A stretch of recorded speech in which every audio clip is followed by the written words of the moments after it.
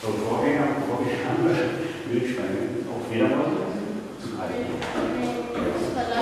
Also die Minerale gesammelt und Fossilien gesammelt? Ja, das Programm sieht so wenn ich hier in diesem Raum bis zum Mittagessen solche Kästen einrichten. Das heißt, solche Holzkästen bekommen jeder einen. Leisten. Aus, diese Leisten dienen dazu, dann solche kleine Fächer einzurichten, entsprechend der Größe oder Fundstücke. Dazu gibt es hier Seen. Hier ist so eine, so eine Seehilfe, die Leerleiste. Da können wir mit diesen Seen dann bereitgehen, kann man eure Leisten bereitziehen und größer und ganz fest können von Maßbänder, das ist hier ausmessen oder mit dem Bleistift Strich machen, dann die Leisten der Länge als Werkzeug und dann haben wir Klebe, dann werden die Leisten eingeklebt. Das ist das Programm, was wir bis Mittag machen. Wir essen Mittag, dann wird Zeit nach dem Mittagessen und dann sehen wir uns eine Sammlung an. Das heißt, das, was wir hier und Müsste